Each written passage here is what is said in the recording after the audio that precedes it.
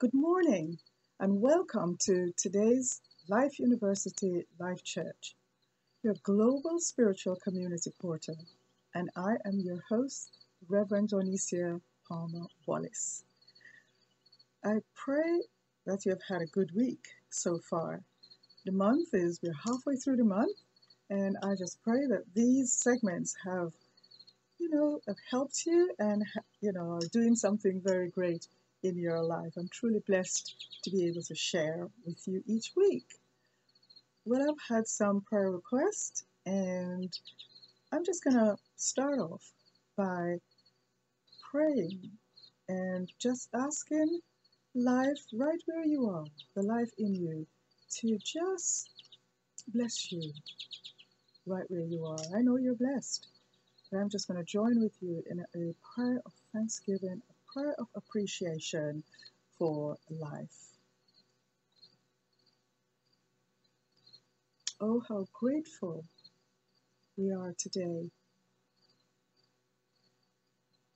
for life, for all goodness, for peace that pass all understanding, for love that is so complete and perfect. This love, this peace, this life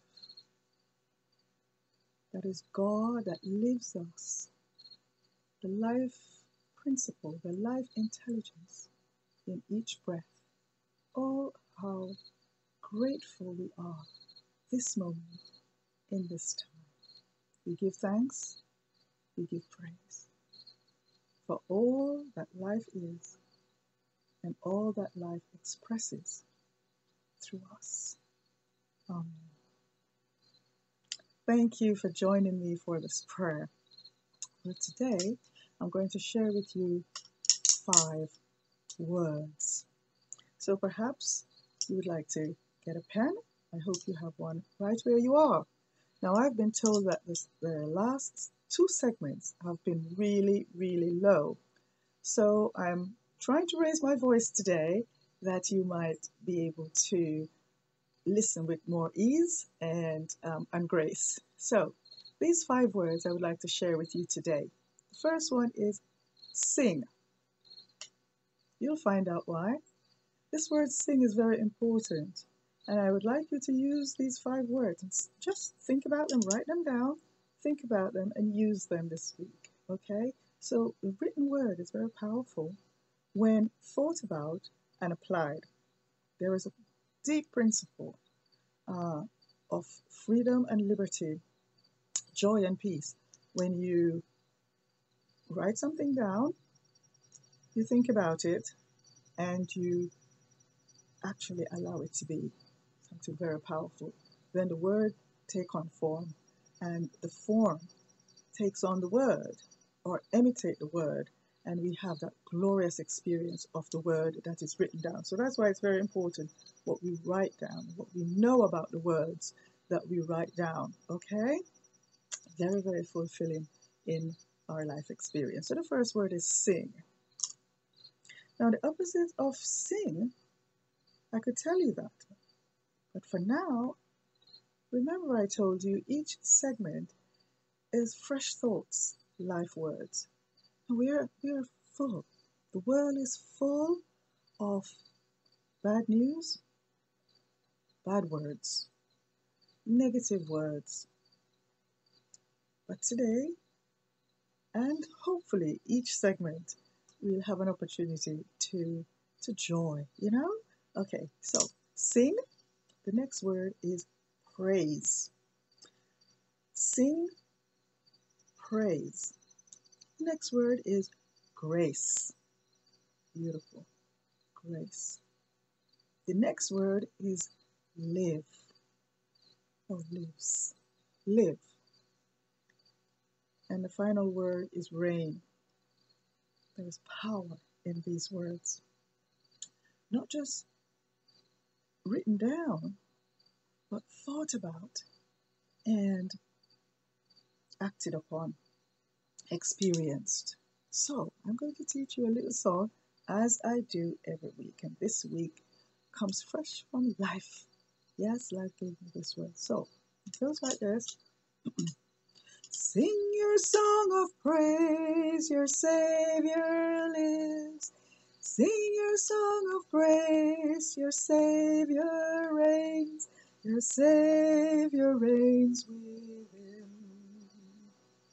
So sing your song of love, your Savior lives. Sing your song of praise, your Savior reigns within. Your Savior reigns within. Your Savior reigns within. Sing your song of praise. Your Savior lives within. Sing, sing, sing, sing. Sing instead of crying. Sing instead of weeping. There is a scripture that says, Weeping may endure for a night, but joy comes in the morning. This moment, be it 7 p.m., it could be your morning. Let it be your morning. Sing your song of praise, a song of praise that life, your Savior, life, your Savior, lives within. Something to sing about. Write that down. My Savior lives within. And sing it. Let it be your life song. You see, on your soul, that invisible part of you, your essence, as it were, the Savior lives on your soul, in your soul, within your soul, from your soul. And so there is a song within your soul, the Savior's song, song that it's okay, a song of liberty, a song of joy. So sing your song of praise. Your Savior lives. Wipe those tears from your eyes. Cry no more. There's another part to this song. It says, Weep no more. Oh, weep no more. Weep no more. Your Savior lives within. Weep no more. Oh, weep no more. Your Savior reigns. Your Savior reigns within. And as you hum this during the week, my Savior lives within, you sing that, the tune begins to resonate, resonate throughout your arms, throughout your legs, throughout your mind, throughout your spirit, down your spine, in your platelets of your blood. Oh, there will be freedom and liberty. The next word I shared with you was praise. Praise instead of complaint. A few weeks I, I said I mentioned this that there is so much to complain about. Oh my goodness. You could complain from morning till nighttime. Summertime, wintertime, we can always find something to complain about. But do you know there is so much that we could praise? Praise is a wonderful thing. Just give praise. Praise for life. Praise life for breathing you. Praise, praise. You're listening today so you can hear. Praise life for hearing, for the sense of hearing that you can hear. And just look about you for things to, to give praise for. And so, the song I just taught you, it says, Sing your song of praise, your Savior reigns. The next, sing your song of grace, your Savior reigns. Grace. Oh, what a fantastic word. Grace. Write that down. G R A C E. Oh, grace. Instead of feeling unworthy, choose. Do you remember the song we sang two weeks ago? Shift lanes, shift lanes. Take your journey into love. Shift lanes. Each day, within each breath, we are given something called choice. So many things might have happened in the past. And that sense of unworthiness when we are on our own, or sometimes when we are with others that are sharing something wonderful, or you know, we might say that person's a show off uh, because we feel so unworthy. We might even go as far as saying they cause us to feel unworthy. But no one can cause you to feel any way.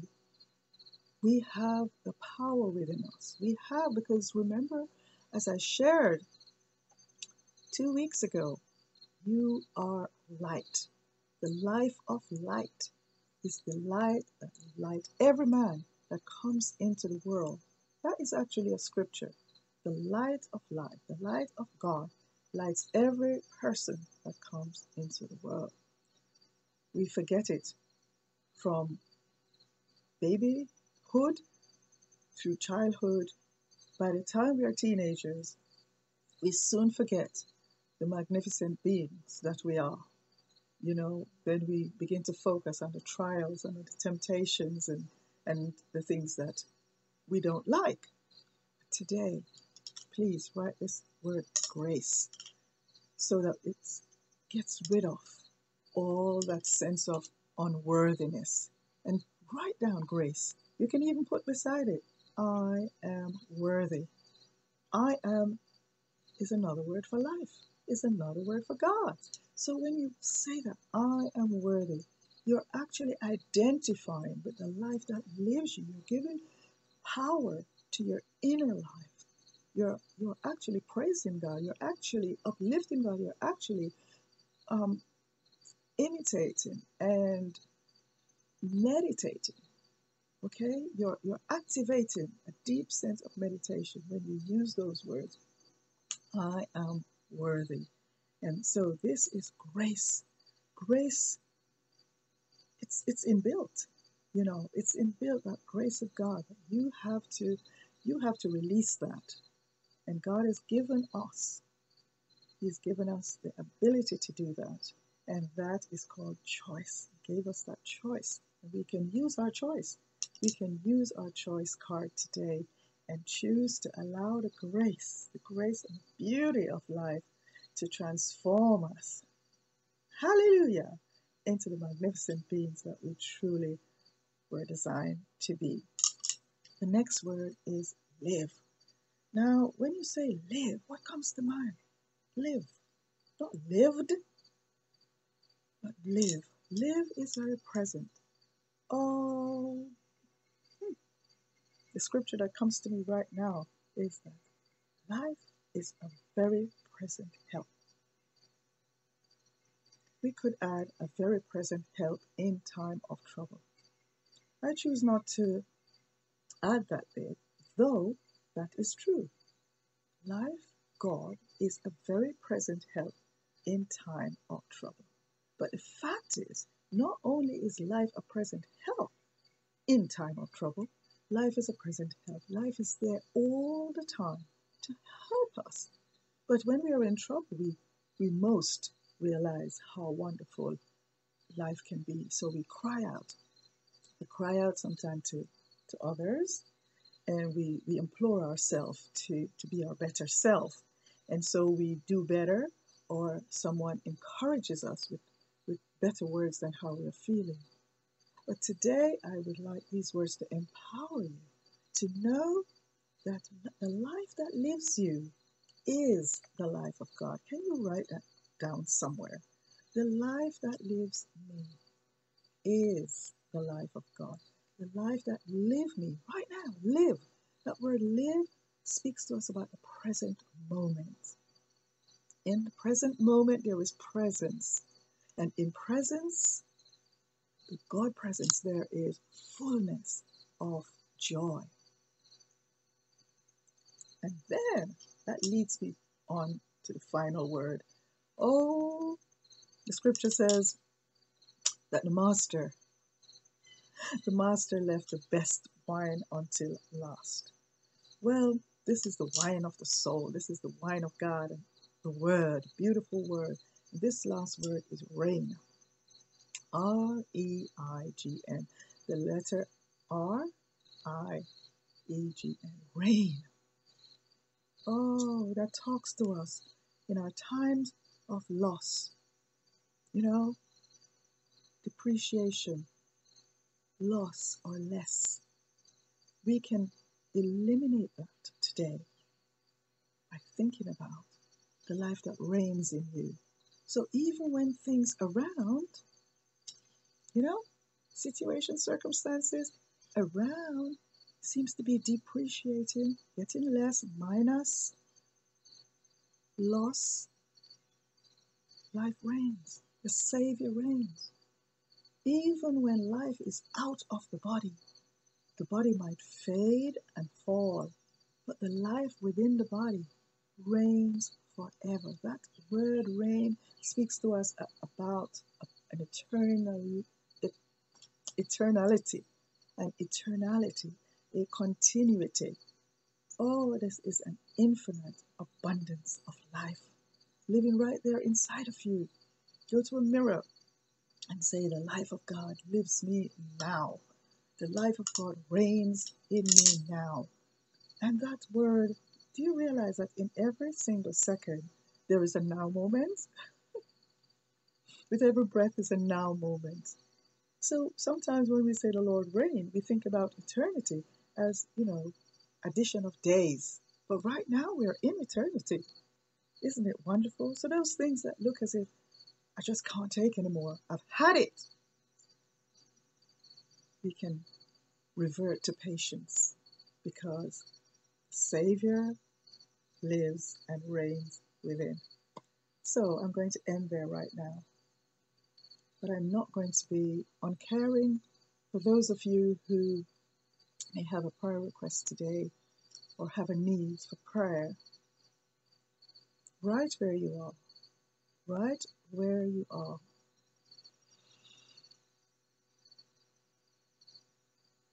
Just take a breath with me.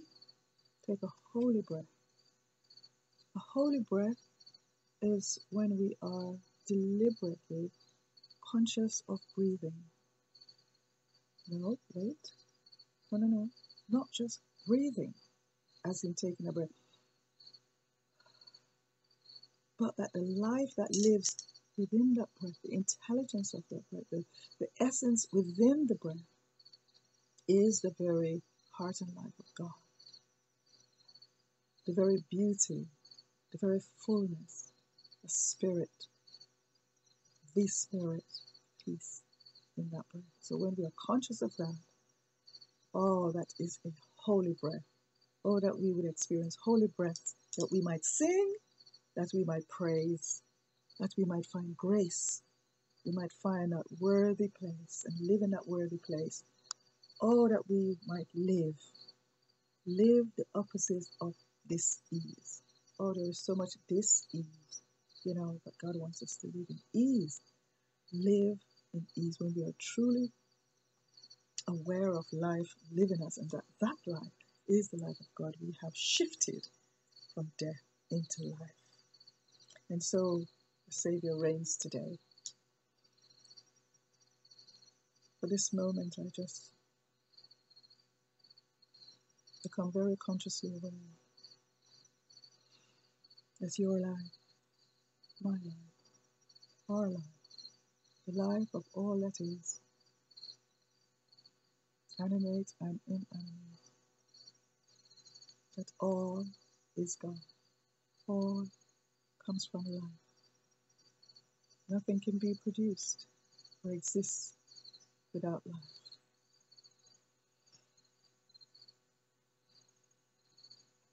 Life is good. Life is pleasant. Life is gracious. Life is beautiful. Life is wonderful. Life is magnificent. Have a wonderful, wonderful week. If you enjoy this segment, why not leave a comment below or leave a comment anyway, a prayer request. And I hope that you will join me next week or encourage somebody else by passing on this segment. Bless you. This is your host, the Reverend Donicia Palmer Wallace. Thank you for joining us today on Life Universecity Life Church.